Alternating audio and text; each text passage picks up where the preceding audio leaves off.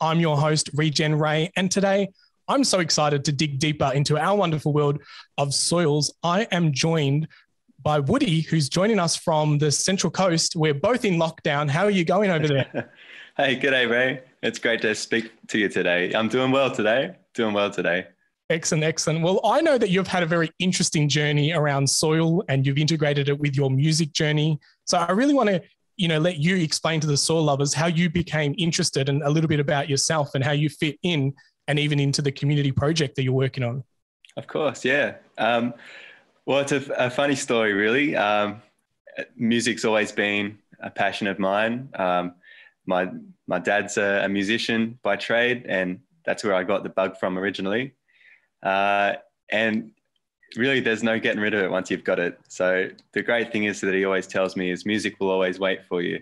So even though uh, I found myself uh, not really being too creative with music at the moment, what I am finding myself giving a voice to is uh, is soil at the moment. I have just become so enthusiastic and passionate about the health and learning all about soil uh, and representing what the life, all the life that's beneath our feet, um, especially in terms of uh, food waste and, and composting, um, has become uh, my my biggest interest. Uh, so much so that I've I put my hand up and and leapt outside the box of my uh, comfortable comfortability and uh, have now taken up a position uh, which I I've coined the the role of MC Microbe. So I'm, I'm giving a voice to the creative arts and also to the, the soil life there uh, oh. in, an, in a community garden setting.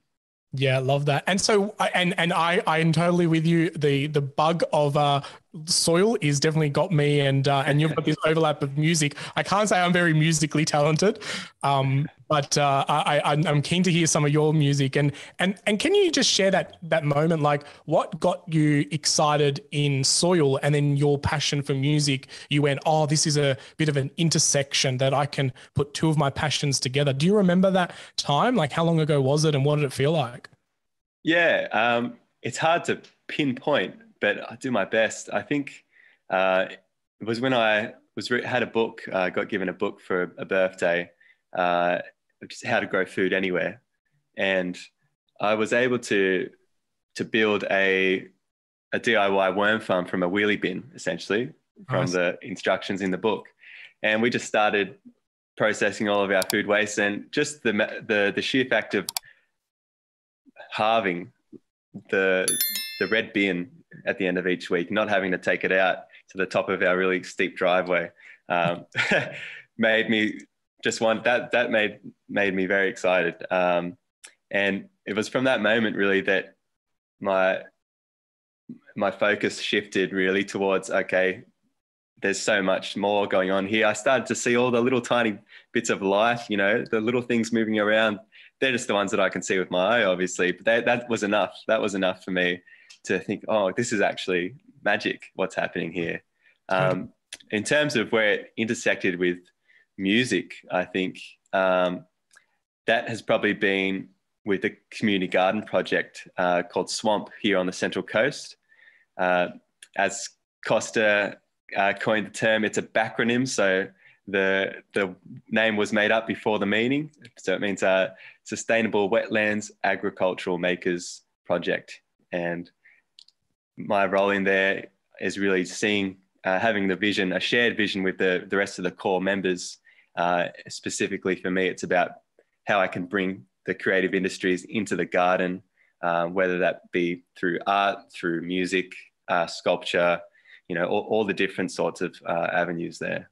Yeah, I, I love that. And so, what, what inspires your music? Like, are you writing lyrics? Um, you share a little bit of like what that inspiration looks like. Yeah, yeah. Um, I think I've always been a, a songwriter, um, whether it's just jotting lyrics down. Uh, it always happens differently. You know, sometimes you get a melody first. Mm-hmm. Um, mm.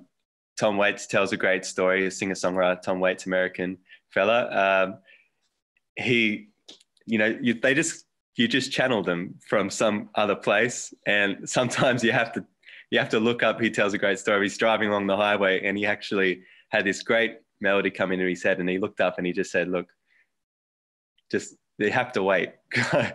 come back to me when I'm in the studio tomorrow." You know, and he was able to come come back to him when he was in the studio the next day. Um, so there's really sometimes no control over uh, that creativeness. It's just coming from somewhere else. And if you're, you're if you're in the right place, then uh, you're lucky. So yeah. I always try and make sure to have um, something that I can write with or play with on around me. Um, there's a, a piano, not mine, but I've got access to it at the moment, so it's great. I can noodle around on that, or the guitar, or just sing a, sing in the in the shower or in the car. Who knows? I love that. And I think that's really an important point there that like a little bit of it is intuition. You know, it, it just kind of comes to you. There's no real plan, overthinking. It just kind of yeah. pops out in, in, you know, out of the sky. And uh, I think, you know, when we're in tune, and it's quite interesting how you say that this person looked up, where, you know, you're probably looking down for inspiration into the ground and seeing like yeah. how you can find words and lyrics that kind of uh, shed some light on this wonderful world that's beneath our feet. So, as you've been doing this music, what has been something that kind of like just blew your mind when you started learning about the soil and the, and the life in it? Yeah. Um, I guess something that's blown my mind is the discovery of um, a thing called lactobacillus, which is just a naturally occurring uh, bacteria in that's everywhere, you know, on the surface of the earth, and how that's been used uh, and utilized by a lot of people around the world, um, often in the, the poorer, poorer, parts of the world where they really uh, are able to capture it and then use it to its full potential. Um, I think that's that's probably been the biggest uh, the biggest thing for me, along with, of course, um, worms in general. They they blow my mind every day. yeah, yeah, and share with us what those benefits are um, from that. Like, how how are some of the uses? Yeah, um, for the lactobacillus, um, being able to capture it uh, out out of the the atmosphere, um, and then you're, you're using like a, a, rice a rice mixture there with water. Simply, that's it in a jar. Um, is able to draw it in, and you capture it in the jar uh, let it begin to, to ferment uh, in the jar there. And, you know, you're, you're cultivating uh, basically the start of a, an inoculation, which you, mm. is later processed into a, a compost um, inoculant, um, which completely changes uh, the traditional uh, use of a, of a compost or, or, method, I should say. Um, and yeah, that that is is mind blowing. The benefits of that, and um, are pretty incredible. Something that's freely in our air can be drawn down with a very simple technique and then used in our composting setups. And so, like, you know, this is where it blows my mind because it's like some of the answers is right there in front of us. We might not see them, but we don't need to go and buy products. We don't need to complicate it. We don't need a 700 steps to success, you know, checklist. You know, it's, that's so true. I've always been, uh, I say, a cheapskate or a bargain, a bargain hunter. So when I heard about this one, uh, you know, it was I didn't have to to scrape out my pockets or anything for it. You know, it was just there, and I could just capture it with what I had already at hand. So couldn't yeah, ask for better pure innovation. And so I, I, know that on the Swamp Community Project, you have been running some workshops and I've seen some amazing photos and uh, your community involvement. Tell us a little bit about the spice compost. And uh, I really want you to share the story about how you put everyone's name on the sign. I think that was very magical. So share about like that community element and yeah, how it all yeah. comes together and what it feels like to be in a community space like that. Yeah. Uh, well, um, yeah, uh, elaborating on the, the lactobacillus element there, that is the start of this spice compost method, um, which has been built upon uh, many people's knowledge. But how I came across it was through uh, Jerry Gillespie. Um, he's got a great book there, which I'll give a free plug to because it's a good one. Uh, it's called The Waste Between Our Ears. And Jerry, uh, I actually listened to a, a podcast first, uh, an Acres podcast that uh, interviewed Jerry and I just decided to email him um, because you know just go straight to the source and you know like you said you don't know till you don't ask right? Um, and jerry wrote back uh, within a day um, thanks jerry and we just got talking there and i was able to sort of um, he's he's all about you know sharing making it common knowledge for for people. So it's it's accessible to anyone via his website. Um, so I, there was no no stopping me really. Um, I was able to get all that knowledge um, and test it, of course, in in the backyard first. And when I think I had a bit of an idea, I just set up uh, some shelters, set up, put a few hay bales for seats, and put bums on bums on there. And then uh, the weather held off for us, and we just got there. So I got a whole bunch of um, food scraps from local cafes. Um, what else we had? We had some hay, we had wood chips, we had leftover compost from when the garden uh, had previously been activated. And what turned out uh, to be a first time for me um, was a great experience. You know, uh, I I probably I had had some I had to uh, dedicate someone there to to pull me up if I was just going too fast or you know for anything like that because the nerves were kicking in. But I think we were okay. And what we ended up with was a huge huge community uh, pile that was built off our off our backs and our hard yakka and um, shovels in hand and you know a big range from from little toddlers to to experienced farmers. I think came from the local area. It was such a big mixing pot, um, and I think I really wanted to represent that. You know, I thought it's one thing for someone to come into the garden. Um, it's another thing for them to see who's actually been there before them uh, and who's built the things that are there. And so it just made sense to knock up a sign and stick that on there and uh, let everyone know, you know, that they, it was really appreciated that they mm-hmm. attended that workshop.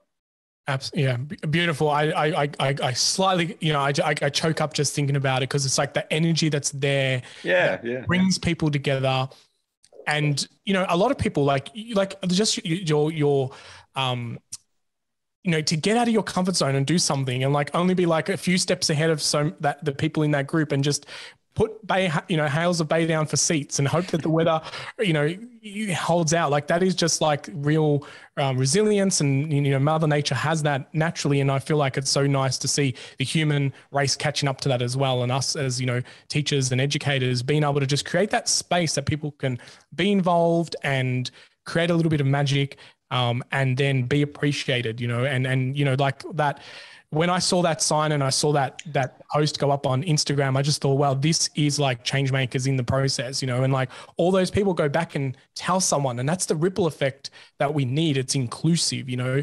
Um, I I I I just love that kind of all inclusiveness, and I, I see photos that it's all age groups that are hanging out in this community garden. So it's like, you know, we don't even know what some of the ideas of these people will have in five years' time that might have been because they attended that workshop. And so kudos yeah. to you for putting it together and, and creating that space and with the whole team at, at Swamp, you know. Yeah, you know, Swamp is all about cultivating community uh, and bringing people together, you know, that's what it's what it's all about, growing good, good nutritious food like any garden is. Um, and so to have people come from as far as Sydney, you know, an, an hour and a half, two hours away for the workshop, um, blew blew my mind. It really did blow my mind, um, and it's definitely something that I, I, would like to do again when we can. Yeah, absolutely. And I think now I know back then we you weren't going through the lockdown that we currently we went, and that's why I took the opportunity to come to Sydney and just get away from Melbourne a little bit. Um, but now is more the time that people need this in their life, you know, something to look forward to, an event, something that can help them be a little bit more resourceful and reduce waste and um, and uh, and and and and be a bit more um, humble in the process as well. You know, less consume, more produce. You know, that's it.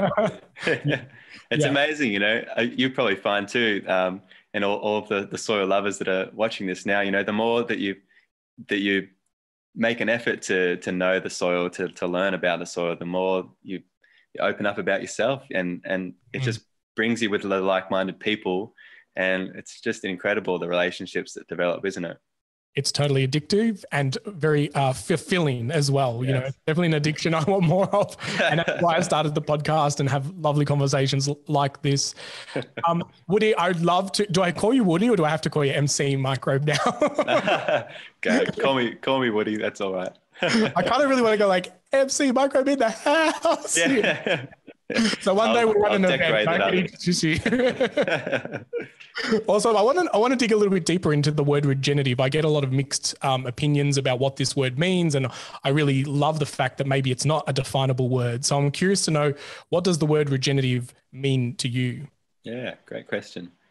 Um, for me, I have come across the word through listening to to podcasts um, and and reading books and researching uh, on the net of of farmers that are doing such and uh, attending workshops too. And I think for me, regenerative uh, specifically is just about uh, nourishing something that's been malnourished to a state where it is at, at its natural um, natural self, you know, where, where it's functioning at its best. Um, and I think looking around, it is evident that things have been malnourished and are treated unfairly.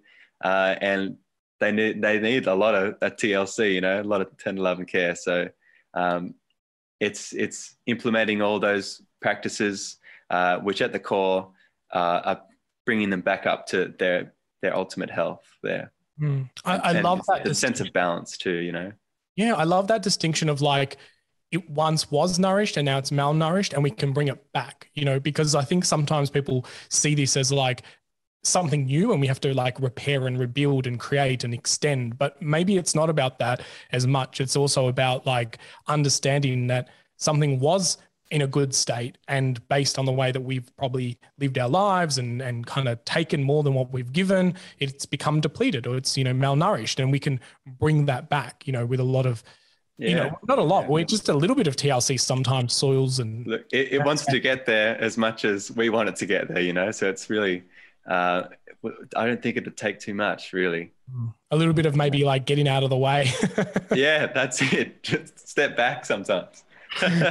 Absolutely. You know, the old rule of less is more, you know, the less we try and intervene with the natural system, the more it kind of heals itself. And the David Attenborough uh, witness statement on Netflix is a true testament of that when he goes and visits uh, the, the, the Chernobyl site. And you can just see life thriving there, even though humans can't go there.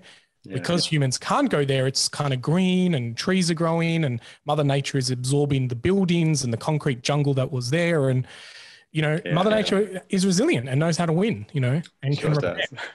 you know, so I, I, do I do love that as a as an example.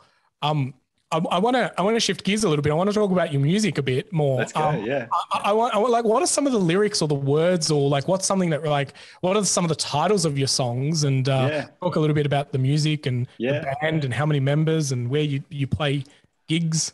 yeah. So it, music started for me uh, with with my dad. Um, and I guess I, I, the first instrument that I picked up was a, a ukulele after I used to work uh, as a, um, a dishwasher in uh, a live music venue uh, that had amazing acts come through. Uh, and one of those acts was Jake Shimabukuro, who's a uh, Hawaiian uh, ukulele player. Incredible, incredible what he plays and what he does on that it's it's insane. It's mind blowing as much as the soil is sometimes, you know.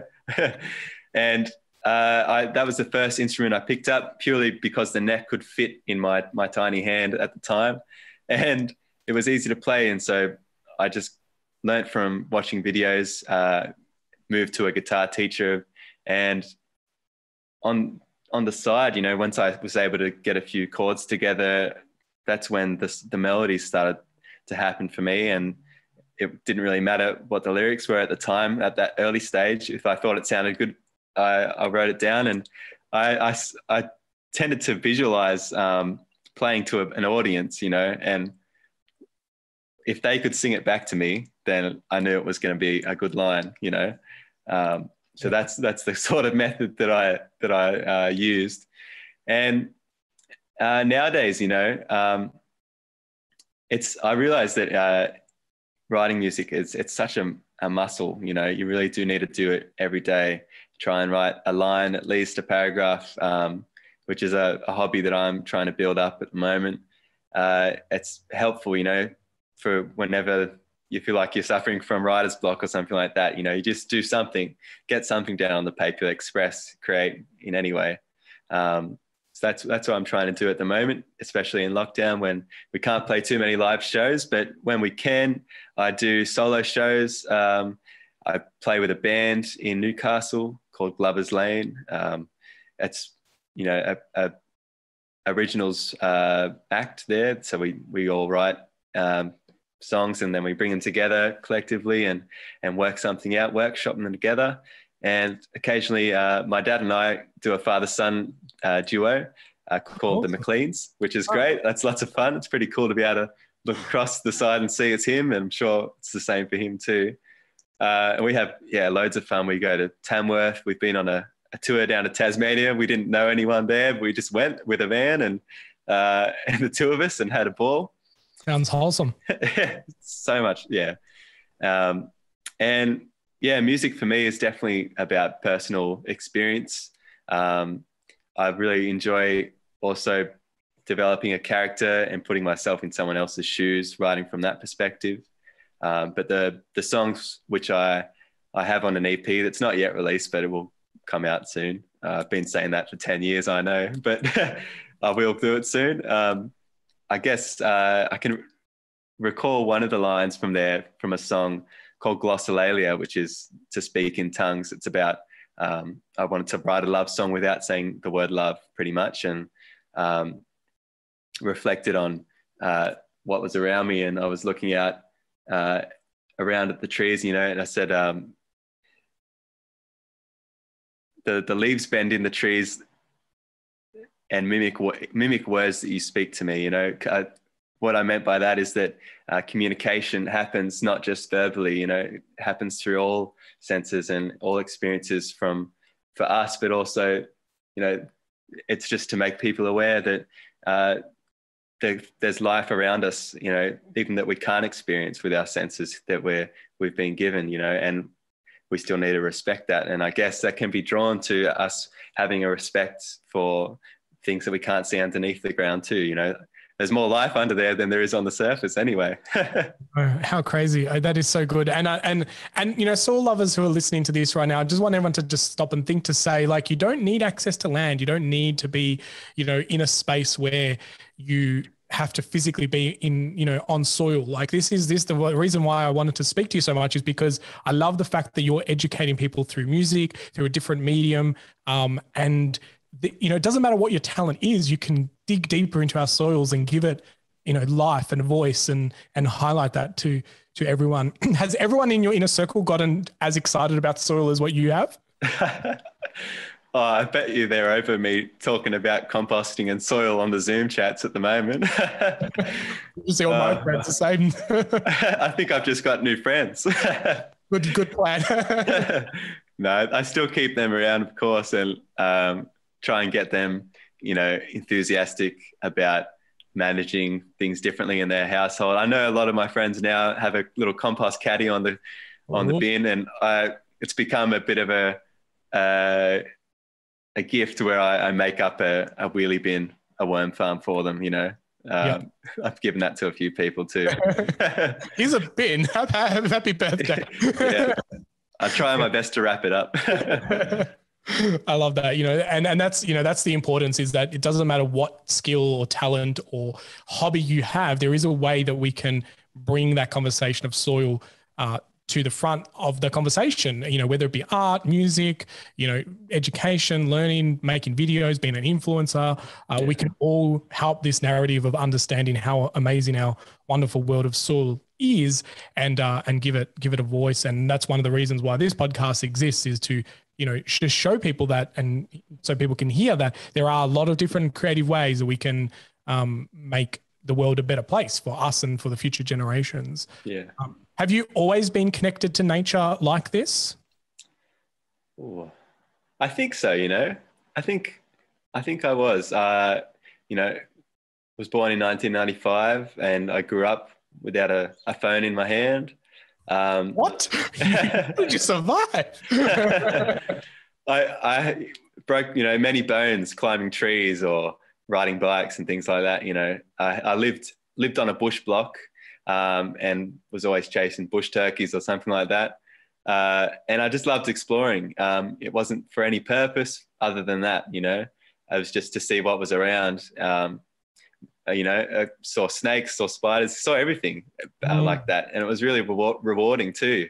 Um, and lots of you know lessons hidden in there too. You know um, that you don't realize that's what you were learning until you you, you learn you research about it later on, or um, see it from a different angle, I guess. But for me, yeah, uh, I was always surrounded by bush, uh, enthusiastic about getting to the top of a tree, and uh, playing with a stick or a leaf. You know, what didn't matter what it was. Mm, the good old days, eh? yeah. Showing my age too. but uh, this this is what I love. You know, it wasn't very long ago that the internet didn't exist or was kind of emerging and was like a new new thing. And uh, it's funny how quickly things can change and and can be forgotten. And that's why you know keeping those conversations and those stories about our you know the grassroots and how the world operates um, is really important because you know all these tech and all these solutions and all these um, innovations things to get faster and bigger and stronger and and you know there's no delayed gratification anymore. And especially when it comes to growing and soil um, you know it's everyone wants the instant biggest ripest tomato and one little bruise on it and it's rejected. You know it's no good. And like i grew up in an italian culture and we lived off the garden and you know, it was very much like everything was used, everything was recycled, and you know, mm. in the shed, everything was in jars of jam and things, and you'd open up tins of biscuits to find that it was actually now a sewing kit, and you know, that's everything had a you know multi-life purpose, and now everything's just throw away. So um, that's it. You'd be a patient man for it too, I bet. Uh, you know, I guess because I kind of fell in that tech startup world. You know, I got on the internet early. I built websites, and I I fell into that hustle culture.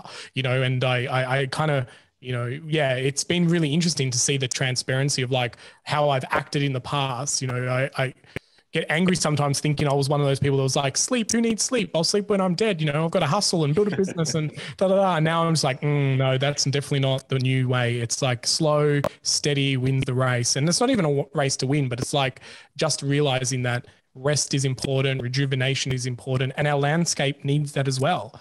You know, in holistic management and understanding how nature works, rest in a pasture um, is really important. You know, letting the yeah. microbes, letting the grasses, letting the biodiversity come back naturally. But the system has pushed people about output, more cattle, more corn, more soy, more everything, and you know, it's not. And then you know, we the yields drop, and you put more chemicals on it because that's meant to help the the, the, the problem, and it's not solving the problem. It's just managing it. You know, um, and delaying the inevitable, which we're now starting uh, to see. You know. Um, so yeah, yeah really interesting. So what keeps you hopeful? Like what what what world do you want to visualize in the next, you know, 5 to 10, 15, 20 years? Goodness. Uh, definitely not the latest report that came out or the headlines I've been reading, but code red for humanity. It's the headline. Um, I, what keeps me hopeful? I think, you know, what keeps me hopeful is that how how fast something can recover. Um, including us, you know, our, our immune systems too. Uh, but nature's immune system, wow, you know, that's unbelievable um, how, how quickly that can recover when it's when it's treated properly or given time to do it, you know, just given time to rest. Um, and I think uh, that hopefully we might not be given a choice, but to have to slow up a bit. Um, and uh, I mean, we already saw it. You know, last year we, we were forced to to stay home and, and stop, literally stop, stay inside, and we saw that, you know, the sky's clear. Literally, the sky's clear. Um, and for I, I'm not sure of what impact that had on the the whole scene of things, but for, hopefully that was enough for, for people just to look outside and see, wow, you know, that's, I haven't seen that. I haven't had that view before. I've lived here for 20 years, but I haven't had that view before. That has to be related. Surely it has to be related. Um, and that definitely keeps me hopeful, I think. And just the, I, I really believe in killing them with kindness, you know, I think just be kind, be kind. Um, and, and and and show you know treat others how how you like to be treated too you know including uh, ones that aren't that aren't human. Yes that's right. And yeah that's 100% right. And it's so interesting how you know slowing down and observing and, and like you said like people saw views of mountains that they'd never seen before because it was always smog or fog or you know it wasn't a clear view. And now when you've seen that you go wow look what's possible you know and and people working from home and realizing, oh, maybe my job can be done from home 80% of the time. It doesn't have to be all the time, but what does that do in the grand scheme of things when you've got less people driving, parking cars, you know, taking transport? uh, it does definitely, you know, is definitely a nice way to think of, you know, the the hopefulness that can come from an event like this, as bad as it, it has has been, and, and affected mm-hmm. economies and and shaken things up. But maybe it's the shake that we needed. You know? Yeah, it's um, definitely shaken us back to how important community is too. I think, um, especially here on the Central Coast, you know, more than half of the population originally travelled for work, and now not so much. Um, so ha- having a, a, bigger audience to to sort of speak out to and say, look, this is what we're doing here. Come and be a part of it. Uh, we're right on your doorstep. You know, there's different ways to to access uh, what you need, especially when it comes to food. Yeah, absolutely. Uh, community, a massive part. You know, bringing communities back closer together. Um, and uh, it's it's nice to see that happening, and uh, especially with the, the, projects that you have with your community garden, and it's inspired me to get involved in a community garden here in South Yarra. Um, you know, being in a bit of a concrete jungle, it's very hard to find land, people who can cooperate, you know. So those challenges have been interesting and council is, you know, finally found a site and we're kind of workshopping on that. So all that came because of lockdown, you know, the whole working group of um, this community garden in in South Yarra came because of lockdown. You know, people yeah. jumped on a group and asked, "Is anyone interested in starting a community garden?" And they got together and built this working group. And and so it's really nice to see that unfold. People had more time to think about these things and put proposals together and and plans and and and and hold on to that hope that one day a magical community garden could exist in a you know city like South Yarra. So it's really exciting that these projects have come um, to light. Um, Incredible. Um, so yeah, incredible. I want to ask our signature question. So, you ready to become the voice of our soils? of course, of course. Excellent. So, if you were the soil and if you could embody being the soil, what wow. would you say to us on the planet? Goodness.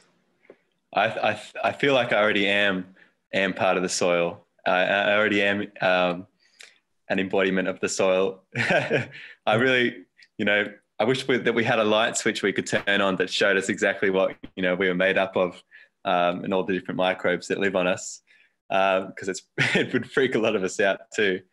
But what would I say? Um, I would say, you know, just treat me treat treat me nicely, really. Um,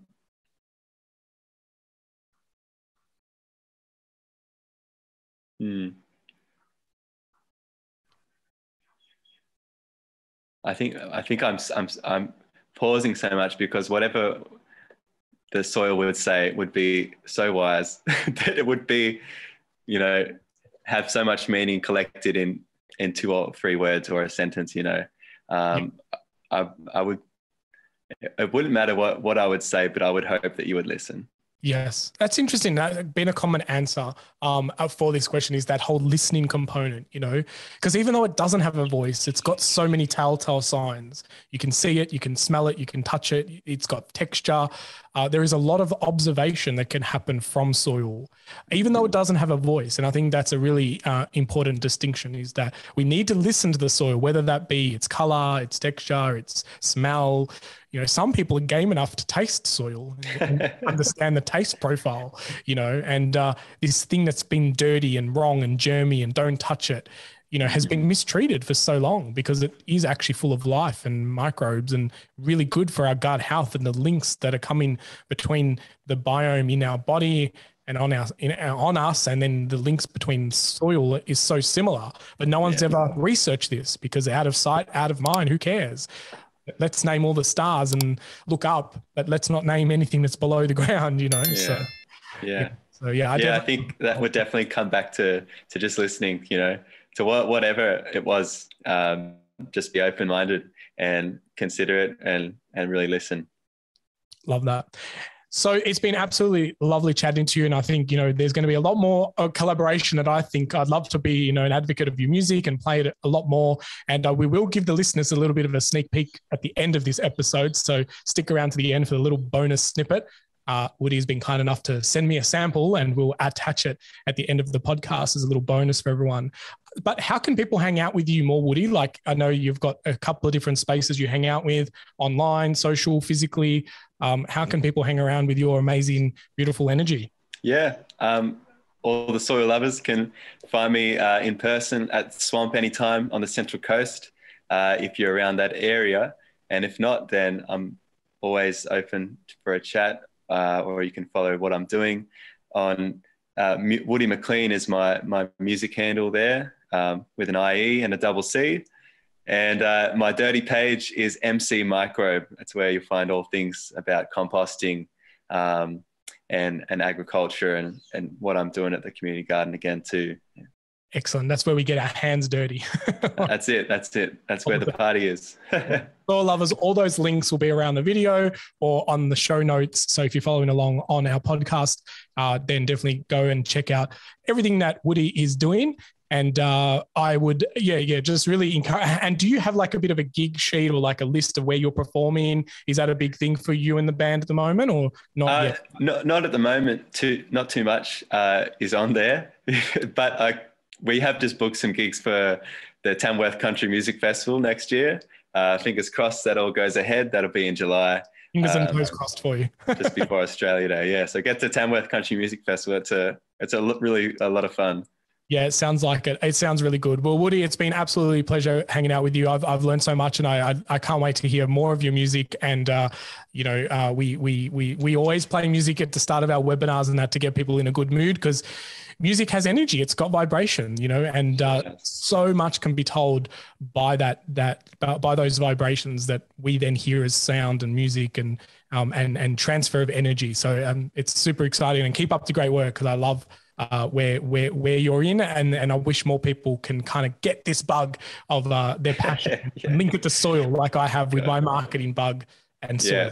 It's so. the real super bug out there, isn't it? it is. It is. It's it's and it's a good one. sure is. Yeah.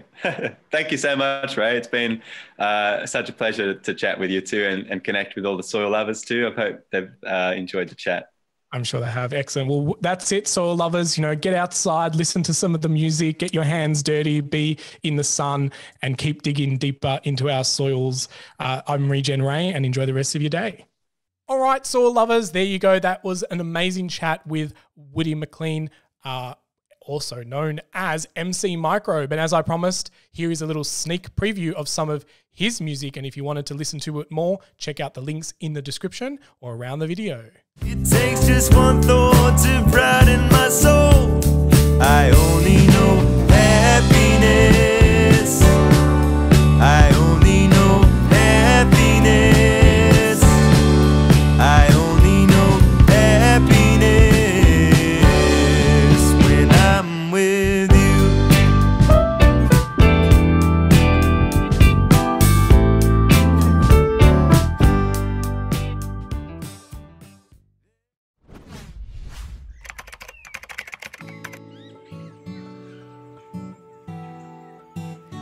Soil lovers, that's enough secrets for one episode. I really hope that you enjoyed all the secrets shared during this conversation. But hey, let's not keep it a secret. Please share this podcast around and make sure that you like it and leave us a review because that really helps spread the secrets of the soil.